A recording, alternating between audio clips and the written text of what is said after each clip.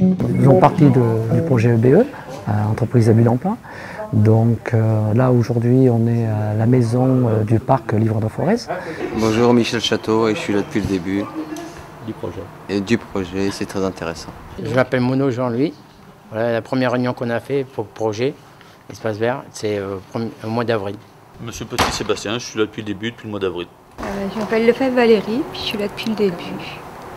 Les métiers liés aux espaces naturels, c'est vrai qu'ils sont divers et variés. C'est un peu différent de la gestion des espaces verts dans une collectivité, puisque là, on n'est pas sur la gestion euh, d'espaces verts, on est sur la gestion de milieu, donc euh, c'est toujours un peu plus compliqué.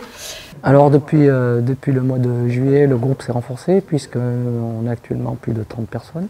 Hein, qui sont inscrits sur les listes des ateliers. Donc, donc il y a des ateliers qui sont déjà bien définis.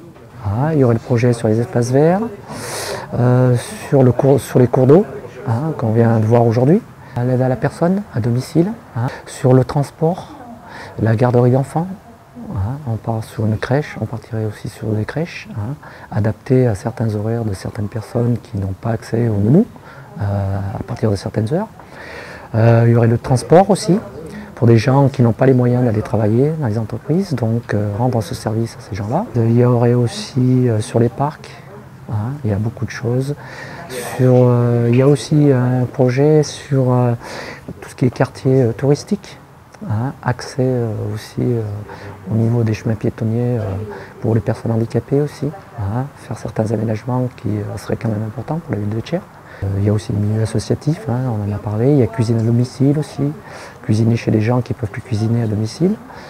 Et que si euh, le projet serait amené à terme, euh, il, y aurait, du travail pour les gens. Donc là, ça veut dire maintenant un noyau dur de trentaine de personnes. Voilà, c'est ça, exact.